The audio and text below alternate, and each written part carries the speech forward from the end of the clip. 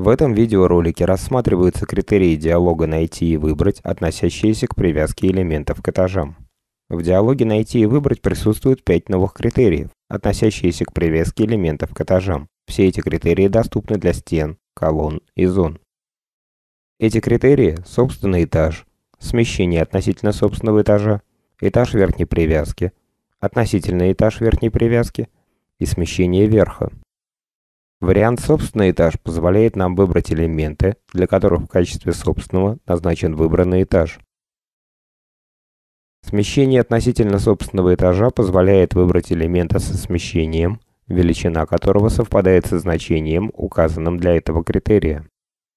Критерий «этаж верхней привязки» позволяет выбрать элементы, этаж привязки верха которых совпадает с указанным.